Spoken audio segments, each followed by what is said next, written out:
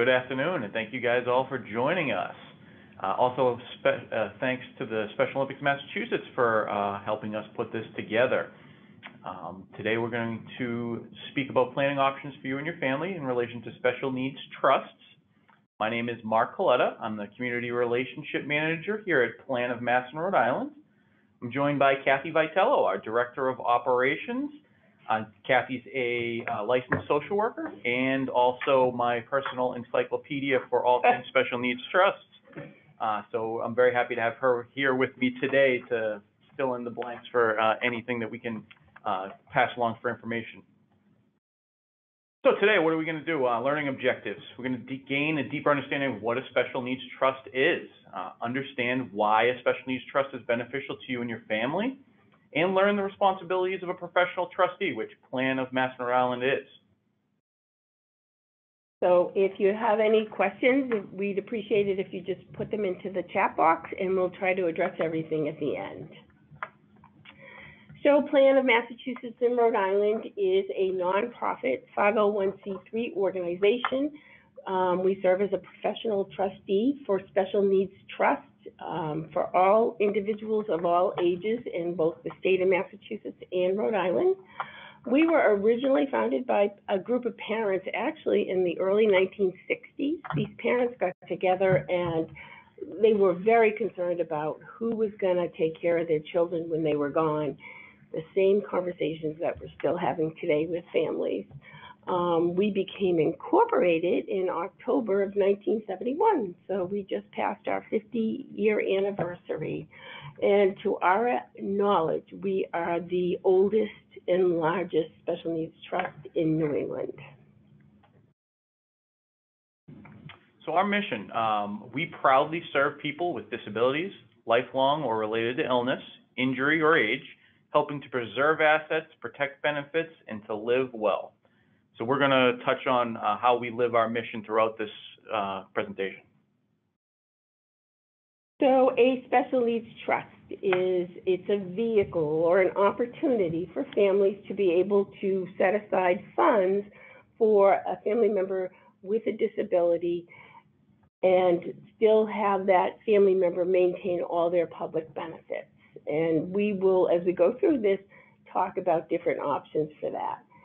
So, you know, we often get asked, like, is this legal? And yes, it is. Under federal regulations in 1993, known as the Omnibus Budget Reconciliation Act, it's also referred to as OBRA, uh, President Clinton um, signed this act that would allow for funds to be placed into what they call a special needs trust or um, also known as a supplemental needs trust. And these trusts were a way for family members to be able to put aside funds that would help supplement public benefits for individuals with disabilities.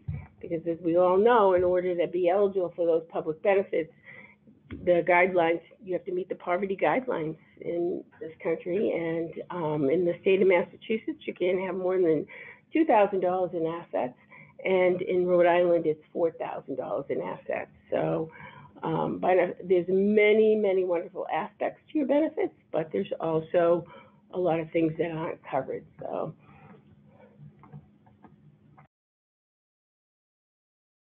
So what does a special needs trust do? It uh, protects an individual's benefits, um, or it preserves their eligibility to get on benefits. Um, it helps families to create a plan for the future and have some peace of mind that they know that their family member is going to be cared for um, and provides the beneficiary with resources to help improve the quality of life. So, you know, we've worked with many beneficiaries over the years, but in one particular case, we had a beneficiary who ended up choosing Plan as the trustee because the family wanted to take the responsibility of that job off the siblings. They wanted to maintain that positive, healthy relationship between the siblings. And they wanted the siblings to be able to go on and live their own lives, you know, um, get married, pursue their careers without having to be tied down to these responsibilities. There's so many rules and regulations with benefits, and people can impact benefits not knowing that they're making, uh, an impact on the benefits. What happens if someone makes a mistake? They could lose a certain percentage of the benefit, and we don't want that to happen. So, um, and one of the very unique features of the services that Plan uh, is that we are staffed with a team of social workers. Um, we call them service coordinators, but they are the primary contact between the beneficiary family support systems um, throughout the life of the trust. And they help guide people on accessing their benefits and how to utilize these these funds without impacting those benefits. So why do you need a special needs trust? Um, so there's a a number of reasons, but it's proper planning for the future, and it creates peace of mind for you that your loved one is going to be taken care of.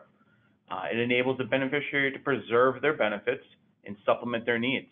So, um, you know, they're, they're not going to put themselves at risk of losing those benefits, uh, and they're going to receive guidance to, uh, as to what the money can be used for in a way that doesn't put those in jeopardy. Uh, and that helps improve quality of life. It improves family relationships. As a professional trustee, we, you know, handle that aspect that a family member might be asked to do, and it's it's a full-time job. I mean, we are a, a, a- we have an office full of people here. That's all that they do, um, and this is a lot to ask a, a brother, sister, aunt, uncle to to handle for someone. So uh, it, it improves that relationship, and it assures the future needs will be met.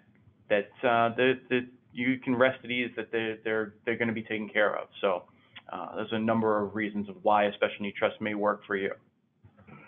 So when we, we look at some statistics, um, the Journal of Disability Policy, they did a study and it reported that a, um, an adult with a disability requires approximately twenty-nine percent more annual income than you and I would to live the same lifestyle. Um, so having that special needs trust helps supplement that for people while they maintain their benefits. Um, and as we mentioned, you know, there's many wonderful aspects to benefits, but you do have to meet those poverty guidelines. Um, and a special needs trust is not counted as a resource. So once that funds are in the trust, it's not their resource. And it's not considered, there's no, um, transfer penalty or look back period with it. So public benefits do have their values. Um, and it, you know, it, it can really depend on what the person's needs are as to how valuable they are. But there's a great deal of value in public benefits, and there's many programs that you really need to be on those benefits that so you can access those programs. Um, so your benefits can be worth tens to thousands of of, of dollars. Um, and many people are on what they call supplemental social security income, which is considered SSI. And if you are on that benefit, you automatically get into your Medicaid program. Um, so, um, you know, in order to get into the DDS, you can apply to DDS for free. Um, and you can begin that application um, at age 17 and a half. A disabled child whose parents are either disabled or a low income or have a small amount of resources can potentially also apply for that supplemental SSI benefit. Um, and usually that benefit is up to age 18. It could be 19, but you would need a letter from school to show that you're still a full-time student. Um, over 18, if you are disabled, you can still qualify for SSI. Um, and then there is Social Security disability income, which is different. Um, for a disabled child, though, when a parent retires, then the child can switch from the SSI, supplemental Social Security income, to the SSDI, which is Social Security disability income. They would get 50% of the parent's retirement. Um, uh, uh, the amount, it doesn't take it away from the parent, it's just equivalent to fifty percent. Once a parent passes away, the child is eligible for seventy-five percent of that benefit. it doesn't mean that they'll lose their Medicaid. They could still be eligible for Medicaid because that's a means-tested benefit. That's only looking at your resources. And then one of the positives about being on the, the disability SSDI, excuse me, is that after 24 months, you become eligible for Medicare as well. And when people are on SSDI, the Social Security Disability Insurance, they could actually work and make up to thir- you know, thirteen hundred and fifty dollars a month and still maintain those benefits. Um, so, um, It's a lot to keep track of. yeah, it is. It, it gets very difficult to navigate, and it can be very confusing. And we have seen people, you know, innocently impact people's benefits. You know, a, a mom that goes to Social Security for a redetermination, the child lives, the adult child lives at home, and Social Security says, oh, they live at home. Do they pay rent? Do they buy their own groceries? And of course, you're a mom or a dad, and you're going to say, "Oh no, I take care of that," and boom, they've just lost thirty percent of their um, SSI income. A lot to keep track of, and Yep. it's good to have a professional you can call on to determine that. Yeah. So we um, there are different types of special needs trusts, and we, we'll explain these, but we're really going to focus this conversation on what we call the third party trust. So when we talk about a special needs trust, we also can refer to them as a D4A, which is a first party trust. And it is a one trust document and one beneficiary, right? And then there's a third party standalone, which again is one trust document and one beneficiary. And then there's what is referred to as a D4C, which is a pool trust, which has both a first party and third party trust can be put into the pool. First party trust means that the funds belong to the individual. That means I got a settlement or I got an inheritance that the funds went directly into my hands. Those are my funds. And I open a trust. It has to be what they call a first party trust, whether it's a D4A or in the pool. And those funds have a lien against them. Medicaid is entitled to be paid back for anything that they paid out during your lifetime. A third party trust, whether it's a standalone or in the pool, means that I decide to put funds aside for you into a special needs trust. Those funds are for your benefit, but they never belong to you. So Medicaid has no right to those funds. And at the end of your life, those funds would go wherever I decided that they would go. So the donor of those funds gets to choose where the remaining funds go. And the other option is what we call a future funded trust. This means that you're doing all your planning. Um, you know, you've worked with your estate attorney or, and you've done your will, or you have your, um, like life insurance or IRAs or whatever. And, um, you, so what you do is you set up this vehicle, which is the future funded third party trust. And then you make the designation, the third party trust for the benefit of who the individual is. So the trust will become funded through your estate. So it's never too early to get started. Never. In a third-party trust, anybody can put funds into a third-party trust. First-party trust, it's, those are my funds, only I can put funds in there.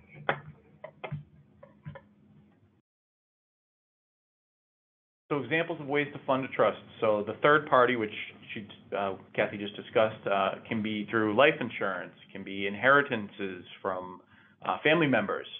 Uh, the, the first party, on the other hand, is, is your own money, so that is settlements, um, existing funds that you have under your name. Um, so, you know, one way to do that is set up a future, a, a, way to, um, support your child is to set up a future funded trust. That way, you know, you could, you could plan for that future, uh, potential event of an inheritance or a life insurance payout. Yeah, so, you know, through the years, we've spoken to so many families that are, their, their anxiety is so high, they feel like they can never retire. They just worry so much about what's gonna happen when they're gone, that they don't know what to do. And this is a good way to provide that peace of mind for family members, is that if they have this set up, and they use their 401s or their life insurance, they can retire and still know that there's funds available for the trust when the time comes. Um, so you would just, you know, take out your life insurance and just use that beneficiary designation as the third-party special needs trust for your family member. Um, and this way, and this is very important, is just that you don't want these funds to end up being first party. I mean, it's not the end of the world, it's just that Medicaid has a lien against them. Once funds go to the disabled individual, they have thirty days to do something. Otherwise, they lose all their benefits. So you don't want that to happen. Um, I recently spoke to somebody who called this the uh-oh trust. Because, you know, somebody in the kindness of their heart left the disabled person money without realizing the negative impact. Now, once benefits are gone, is it, would like to get So it back? anybody who's applied for benefits knows what an overwhelming task it is to apply for a benefit. But to be on benefits, lose them and have to reapply, it's twice the nightmare. Because you have to account for every penny Wow. that disqualifies you. So, and the other important thing, I think, is in doing it this way, is that you know that your wishes will be carried out. We've seen families who have, you know, done their estate planning and they name Joe as the executor of the state and, you know, he's gonna take care of Susie, and they tell you in the, in the will, you should put the funds in this trust, but Joe decides, ah, I think I can do a better job with this money. And the funds don't get put aside for Susie, and this is a way to ensure that that happens. So now that you know more about special needs trusts, uh, trustee is the, the next question that you're gonna ask. Who is going to administer this for, um, your loved one or yourself? Um, so trustee considerations, what do you need to think about when you're making that decision? Uh, what services are needed now and what are you gonna need in the future? That's more, almost more important. Um, trying to, you know, account for any scenario that can happen. Uh, what technical skills and knowledge are needed as a trustee? Uh, you just heard a lot of it. Uh, understanding benefits and what can affect them. Uh, that's a huge piece. And, and if you're not well versed in that area, you can put benefits at risk.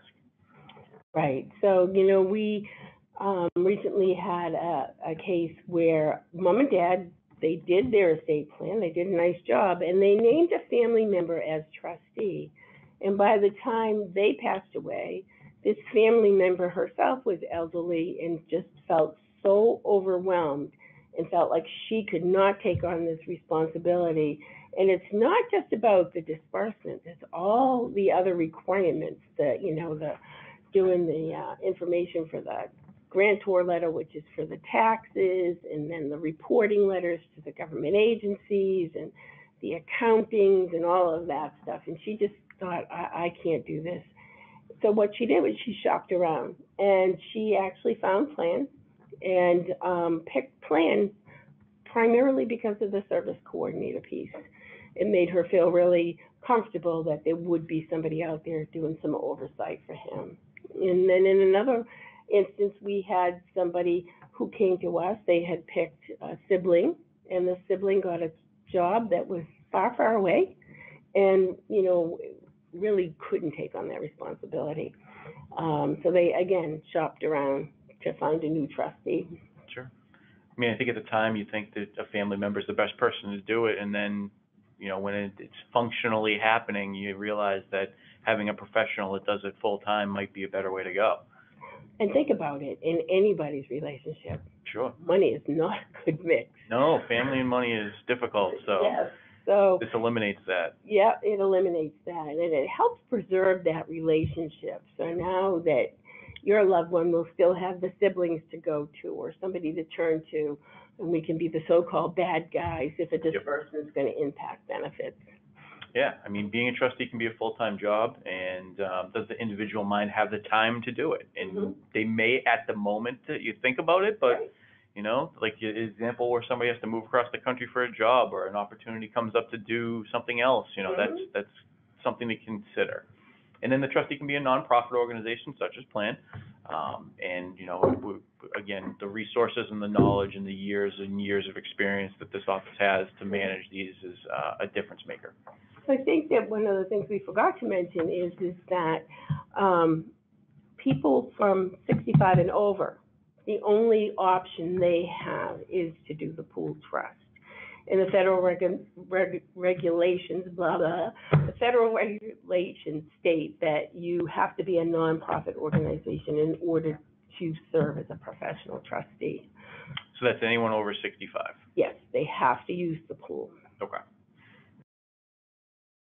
So I think that we just touched on these, you know, the responsibilities about the um, investments, the accounting, the taxes, the reporting, all of that stuff is handled by a professional trustee. But even if it's a family member, they're still required to fulfill all those obligations. Um, And we, we're able to sit and, and, you know, provide the guidance over the benefits and what's going to impact them, but also, um, we work with, here at Plan, we work with Webster Bank. So we, um, get together and talk about the investment strategies as well. Yeah, the investment strategy is, you know, it, it, they use, it, it's conservative and it's, it's not gonna put the money at risk. I mean, we're not, we're not investing in Bitcoin or anything volatile. It's gonna, your money's gonna be there at the, the end of the day. Um, it, it- it's, it, but it's good to have that professional fiduciary knowledge mm-hmm. that will, you know, have the best interest of the person to being, that is investing the funds. Right, so we're looking at your age, we're looking at your disability, we're looking at your needs, and some, maybe some anticipated needs, and what your living costs are that your benefits don't cover. All of those things are taken into consideration as we look at investment categories. So at Plan, we have no minimums to establish a trust, which is also, uh, I think, personally, a unique feature. I think that if you went to a bank or any other professional type of corporate trustee, so to speak, their minimums are usually five hundred thousand or a million dollars or more before they'll even open the trust. a lot of banks won't even do these types of trusts just because of the, the knowledge that you need to administer them and the, the risk that they would take on in, you know, potentially losing somebody's benefits. I mean, that's, that's something a bank isn't generally equipped to deal with. There, there's some, uh, but again, it's the ones that do it Mhm. require half a million, million dollars in deposits in order to, to get that done. Right, and, you know, we have the social workers on staff, again, which is unique, and I keep saying that because I'm a social worker, right? You're gonna pat me on the back, no, I'm kidding. So, um, we take a very holistic approach, I think, here, uh, and it's an all-inclusive model, right? So, I think when you use that corporate trustee or the bank, you know, there's a lot of hidden fees. You're gonna get charged for phone calls, you're gonna get charged for emails, you're gonna get charged for all the checks that are written and all of that, and this is all inclusive. Um, we review all of the disbursement requests, we issue the checks here, we have the, um, professional investment, and we do the annual accountings, we prepare, well, you, or Young actually does it, but there's a statement prepared on the trust, it's either called a grantor letter, which is used for the first party trust, and a K one that is used for a third party trust, and people take that document when they're having their personal income taxes done.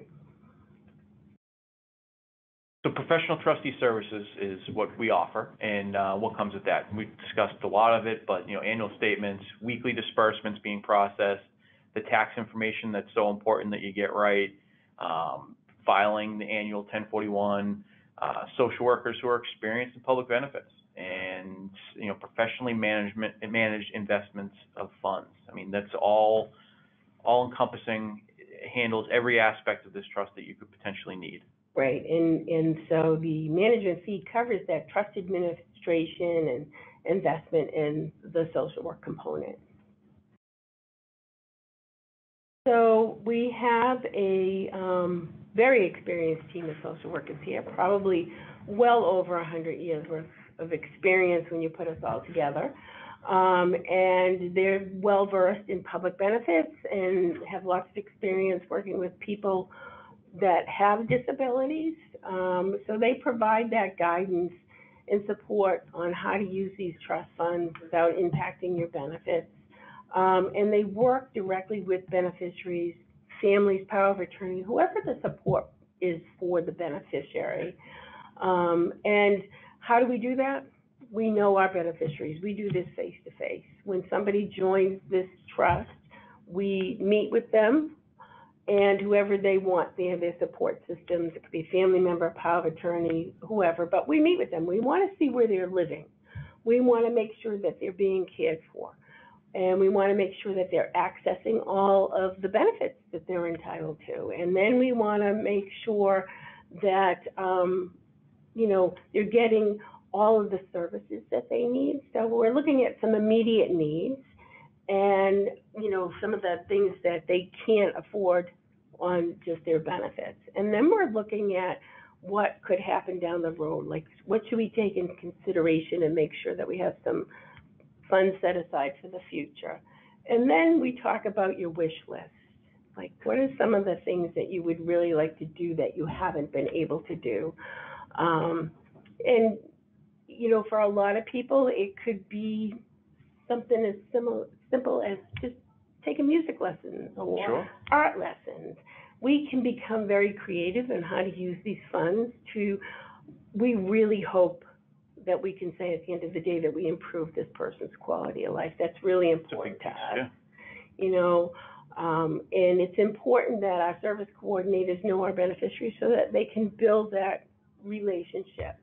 Um, you know, we've done things like pet visits, Reiki, alternative therapies, um, all kinds of creative things. You know, you can't see in here, but there's some pictures hanging up of um, some art that beneficiaries have done for us. Um, and then for those future funded people, while the account is unfunded, you still work with your service coordinator. And what we do with a donor, whether it's a parent, grandparent, or whoever's established this account, we fill out what we call a life care plan. And in this life care plan, we're gonna ask you all about the family, all about the beneficiary and the beneficiary's needs, providers, benefits, all of those things, other relationships, and beneficiaries' interests. And at the very end of it, we're gonna ask you, what are your goals for this, these funds, right? You know, we can't one hundred percent promise, but we do our best to follow those wishes. Um, so it's really important that we keep up this relationship. And you don't just meet at the beginning, right? Nope, we stay in touch until the account is funded, and then we start working with the beneficiary more closely. Excellent.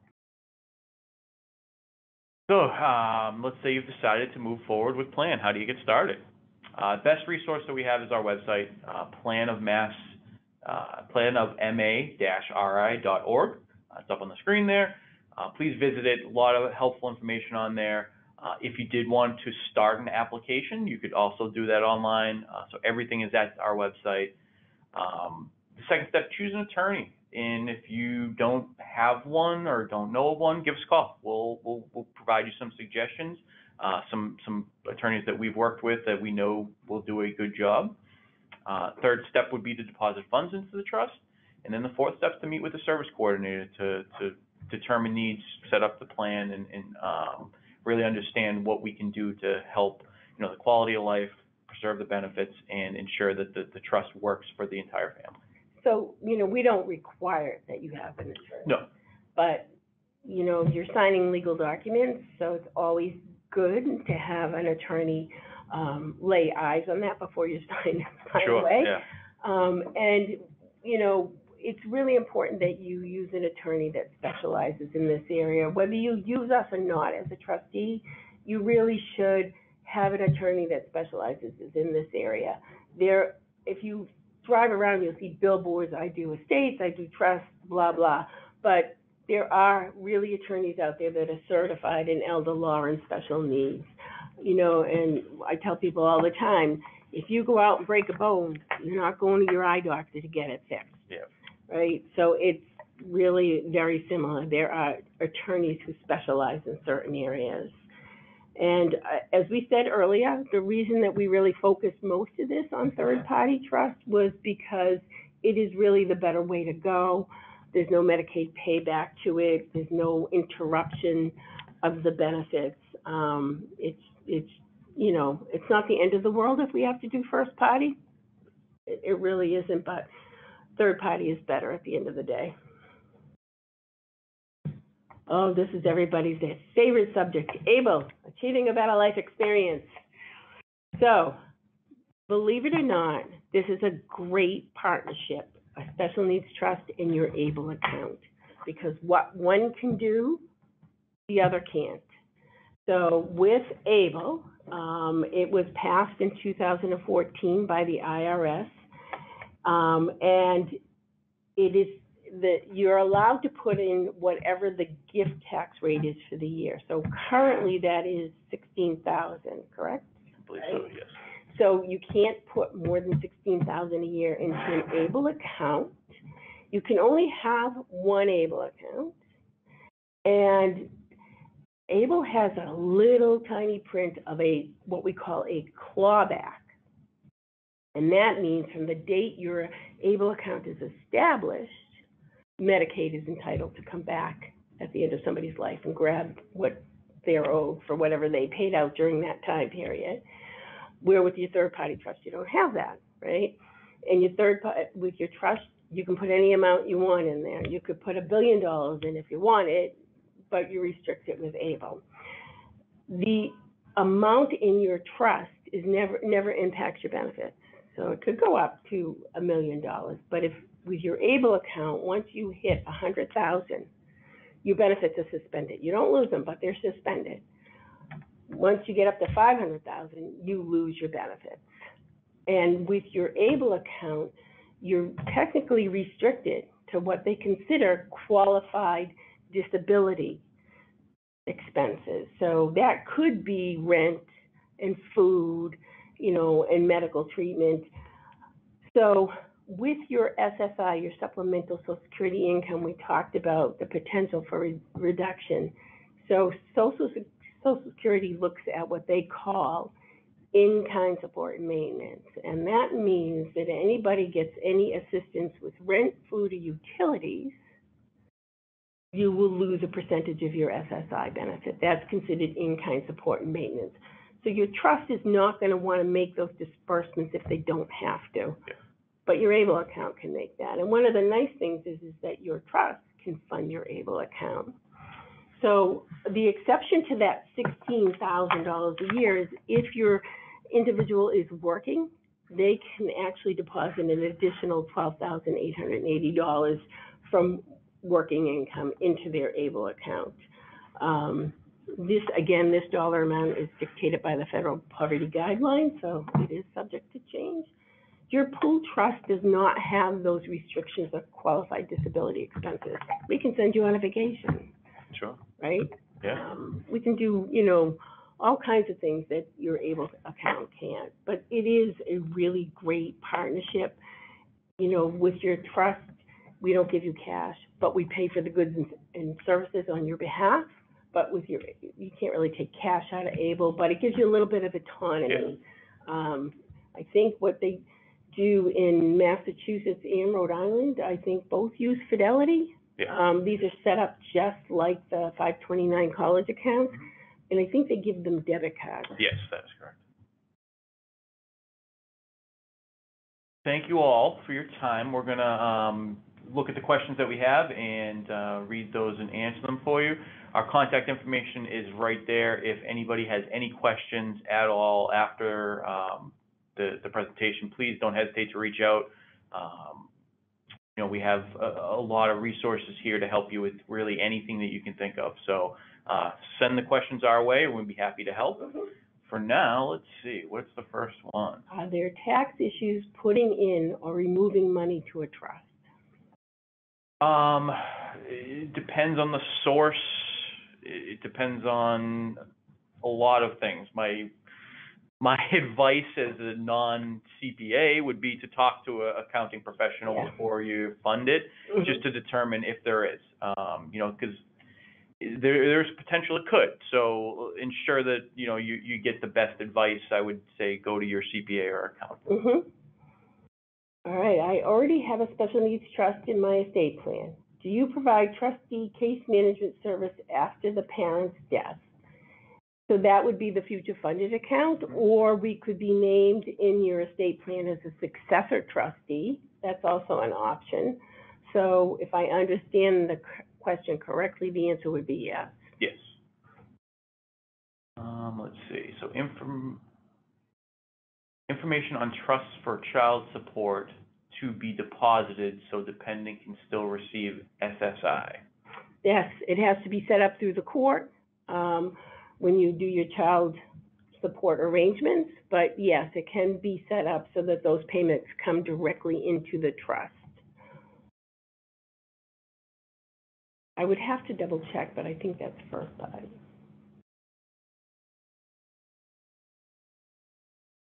If anyone does have questions, please, uh, put it in the chat box. And if not, please feel free to reach out. We know this is a huge decision for Sure. people and it's really scary. Um, so we don't mind. You can call, email, whatever works for you, whatever your comfort level is. We do not charge to consult with people at all. So please feel free to reach out, um, if you want to talk separately about your own individual situation. We're more than happy to chat. So we thank you for your time. We're glad you were able to join us this Yeah. afternoon, uh, and we hope that you get to enjoy Oh, the hold rest on. of this. We might have weather. one. Okay, Uh, when I set up a third-party trust, once the money is put in, can it be taken out or not? all special needs trusts, part of the requirement is that they're irrevocable trusts. So the answer is no. Uh, and then when do you fund the trust for your child? So it really depends on your own individual circumstances. A lot of people have found that when they do these future funded trusts, that they sometimes will open it with a very small amount of money, just so that there's a comfort, comfort level for the beneficiary. They get to know us a little bit and understand the process, but it really depends on your own individual situation.